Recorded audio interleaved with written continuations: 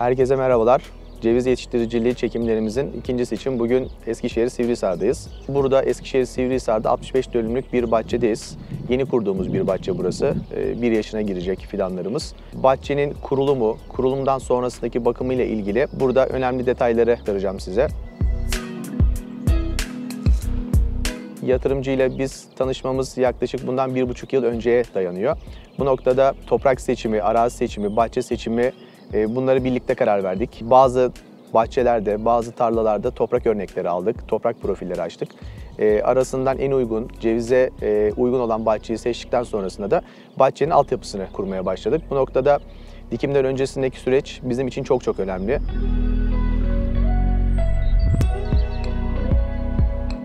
Bütün prosedürler tabii ki bütün süreç çok çok önemli ama dikim öncesindeki toprak hazırlıkları bizim için çok daha önemli. Çünkü fidan dikildikten sonrasında fidanın dikilen bölgesi için tekrardan bir geriye dönük bir uygulama yapamıyorsunuz. O yüzden e, bizim de dikim öncesinde böyle bir zamanı ve programlamayı oluşturarak arazi tarla seçimini yaptıktan sonrasında buradaki arazide biz toprak işlemlerimizi yaptık. Ripel bizim için çok çok önemli. E, toprağın kabartılması, hava alması, özellikle bu bölgede ve e, Türkiye geneline baktığımız zaman birçok bölgemizde kuru tarım yapılıyor. Kuru tarım yapılan bölgelerde toprağın genellikle e, 30-40 santimlik e, bölgesi sürekli işleniyor ve alt tarafı bir taban taşı oluşuyor bu noktada. Kuru tarımdan meyveciliğe döndüğümüz noktada bu taban taşının kırılması, toprağın havalanması, işlenmesi için ripelle, e, patlatmayla toprağın çift taraflı olarak işlenmesi gerekiyor. Yaz döneminde biz bu ripel e, ve patlatma işlemlerini gerçekleştirdik. Ondan sonrasında fidanların aplikasyonlarını yaptık. Fidan aplikasyonundan sonra da e, fidan çukurlarını 2 metreye 2 metre 2 metre derinlik olacak şekliyle çukur kazımlarını gerçekleştirdik. Burada 2 metrelik kazımlarda profilin üstteki 1 metre toprağını bir kenara, alttaki 1 metrelik toprağı bir kenara aldık. Üstteki 1 metrelik toprağı tekrardan çukura kapatıp alttan çıkartmış olduğumuz toprak içerisine de e, organik maddeyi iyileştirmek için leonardit ve hayvan gübresi eklemelerimizi yaptık bu noktada. E, toprağı karıştırdıktan sonra makinalarla tekrardan çukurlarımızı kapattık ve dikime kadar bu toprak kışı, yağmuru, suyu çok rahat bir şekilde içindeki gübreyle birlikte karışımını sağlamış olduk ve toprağın oturmasını e, sağladık. Altyapımızı oluşturduk, sulama sistemimizi kurduk, elektriğimizi çektik. E, Burada sondajdan e, yararlanıyoruz sulama noktasında. E, sondajımızı yaptırdık ve altyapısını tamamen oluşturmuş olduk. Bundan yaklaşık iki ay öncesinde e, Mart'ın Mart ayı içerisinde, Mart'ın sonuna doğru da fidan dikimlerimizi gerçekleştirdik. Burada ana çeşitimiz Chandler. Biz anaç olarak Vilanç anacını kullandık. Vilanç anacına bir önceki e, yaptığımız çekimlerde de değinmiştim. E, Vilanç anacını üreticilerimizin dikkate alması gerekiyor. Tabii normalde bizim e, standart dediğimiz anaçlar e, Juglans regia olarak kullanılıyor. Şu anda Paradox ve Vilanç dediğimiz anaçlar var. Bu noktada e, fidan seçimlerinde özellikle Vilanç anacı üzerine aşılı Chandler e, kullanılmasını üreticilerimizin dikkate almasını ben e, öneriyorum. Biz burada Vilanç anacı üzerine aşılı Chandler kullandık. Tozlayıcı olarak 3 çeşit tozlayıcı e, kullandık. Frankette, Fernette ve Ivarto. E, bunlar yine aynı şekilde Vilanç anacı üzerine e, aşılı.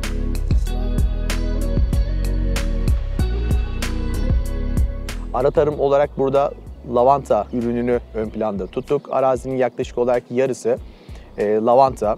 Geri kalan yarısında da salep ve kuşkonmaz çalışmalarımız var. Tabii üreticiyle, yatırımcıyla yapmış olduğumuz bu programlar doğrultusunda sulama sistemlerimizi, e, programlarımızı hepsini ona göre biz burada e, oluşturduk. Şimdi bu noktadan sonrasında biz fidanlarımızı diktik. Fidanlarımızı diktikten sonrasında can suyu verdik. Can suyu bizim için çok çok önemli. Can suyunu bazı üreticilerimiz e, şunu soruyor.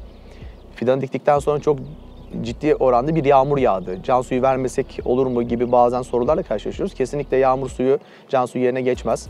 E, toprağın o can suyu ile birlikte kök kısmı özellikle toprakta iyice bütünleşmesi gerekiyor. Bunun için biz bazen ikinci ya da üçüncü can suyu uygulamasını da e, yapabiliyoruz toprağın yapısına göre. Can suyunu verdikten sonrasında yaklaşık bir hafta içerisinde toprakta çatlamalar meydana geliyor. Bu çatlamaları da e, ortadan kaldırmak için e, personele toprağın üst tarafında tekrardan bir toprakta kapattırıp üstünü bir çiğniyoruz toprağın iyice sıkılaşması için.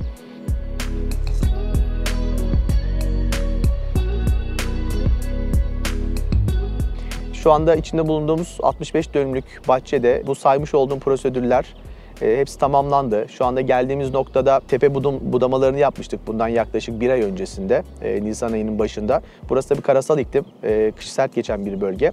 Dikimimizi Mart ayı içerisinde yaptık. Karasal bölgelerde de e, özellikle ilkbahar dikimlerinde biz e, öneriyoruz. Ceviz fidanının dikim süreciyle ilgili de uyku dönemine girdiği zaman ceviz fidanı açık köklü olarak dikilebilir. Bu noktada bazen e, üreticiler Kasım ayı içerisinde dikmek için ve yıl kaybı olmaması için e, bir takım önerilerde ya da bir takım isteklerde bulunuyorlar ama tabii bölge çok önemli, iklim çok önemli. Bir de e, Kasım ayı içerisinde fidanlar uykuya girmemiş olabiliyor bazen. Bu noktada fidancılar da e, üreticinin isteklerini geri çevirmemek için e, tam anlamıyla uykuya girmemiş olan fidanları çıkartıp üreticilere e, fidanlarını iletebiliyorlar. Bu noktalara dikkat etmek lazım. Bu noktalarda bazen yatırımcılar sıkıntı yaşayabiliyor. Biz e, burada karasal iklim olduğu için Mart ayı içerisinde dikimlerimizi yaptık. Tepe budamalarını e, kestik. Tepe budaması ile ilgili de e, standart bir 30 santimden 40 santimden ya da 50 santimden kesme gibi bir durumumuz yok. E, bu noktada 3, 4, 5 göz üzerinden biz tepe kesimini gerçekleştiriyoruz. Sağlıklı 3, 4 ve 5 göz üzerinden. Çünkü bir fidan fidancıdan çıkıp e, yatırımcının bahçesine gelip dikilene kadar en az 6-7 işlemden geçiyor.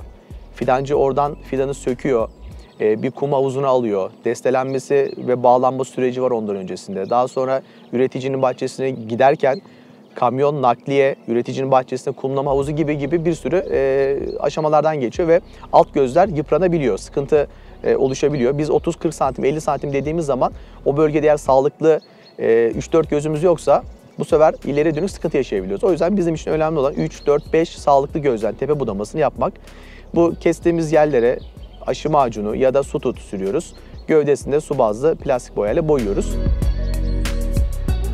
Bu bahçede şu anda bu aşamadayız. Bunların hepsini tamamladık. Sulama sistemimizi kurduk. Damlamalarımızı çektik, laterallerimizi oluşturduk. Yaklaşık iki defa da sulama programı dahilinde sulamamızı başlattık ve gübreleme programına başladık burada. Bundan sonra yapılacak olan işlem artık kazıklarımız çakıp fidanları bağlamak. Yaz sezonundaki yapmış olduğumuz e, programlar dahilinde ilaçlaması, gübrelemesi, sulaması, çapalaması ya da budaması gibi işlemlerin artık yapılması süreci olacak. Burada tabii üreticiyle biz e, yaklaşık bu bahçe için bir buçuk yıl oldu biz tanışalı. E, bu noktada da bizim danışman olarak 3 noktada biz yatırımcılarımıza hizmet verebiliyoruz. Bu üç noktadan birinci aşaması e, fizibilite çalışması. Yani üretici ben ceviz yapmak istiyorum artık ve bunu gerçekten kendi kafasında, kendi e, bünyesinde bunu düşünmeye başladıktan sonra biz her aşamada yatırımcıya destek oluyoruz. E, fizibilite çalışmamız var. E, aynı şekilde bahçe tesisi, bahçe kurulumunu yapıyoruz. Bir de danışmanlıkla ilgili destek veriyoruz. Bu üç noktada da bizim desteklerimiz var. E, fizibilite içerisinde seçilen arazide ceviz olur mu olmaz mı? Toprak tahlili, profillerin açılması. Daha sonrasında ceviz olursa eğer bu verilerin ışığında e, bahçe ile ilgili fizibilite çalışmasını kapsıyor. İkinci bir kısım olarak bahçenin kurulumu her noktada yatırımcıdan bize gelen istekler doğrultusunda her noktada yine biz yardımcı oluyoruz. Yani tel örgünün kurulmasından sulama sistemlerinin projelendirilmesine, dikimlerin yapılmasına, elektrik hatlarının çekilmesine kadar e, bütün bu e, bahçe kurulumunu gerçekleştirebiliyoruz. Üçüncü bir ayak, ayak olarak da danışmanlık kısmında da yine yıl içerisindeki bütün gübreleme, sulama, ilaçlama, bakım programlarını yaparak danışmanlık hizmeti de biz bu noktada veriyoruz. Bundan sonrasında da artık tabii yatırımcının buradaki emeklerinin karşılığını alması için yapılan programlara, yapılan programlarla birlikte buradaki başarının yıllar içerisinde ortaya konması sürecini takip edeceğiz inşallah. Ben bu noktada bu bahçenin yatırımcısı Yılmaz Bey'i de e, buraya davet etmek istiyorum. E, bu noktada Yılmaz Bey'in e, burada karşılaşmış olduğu durumlar ve cevize e, neden ceviz, cevizi işini, e, ceviz yatırımcılığını yapmak istediğini Yılmaz Bey'den duymak ve dinlemek isteriz.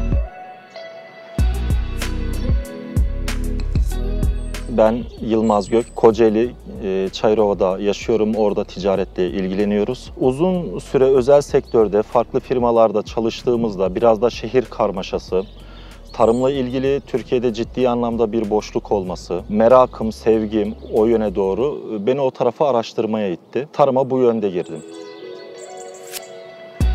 Tarımı araştırdık, tarımda neler yapabiliriz onları araştırdık ve en nihayetinde tarımda cevize karar verdik.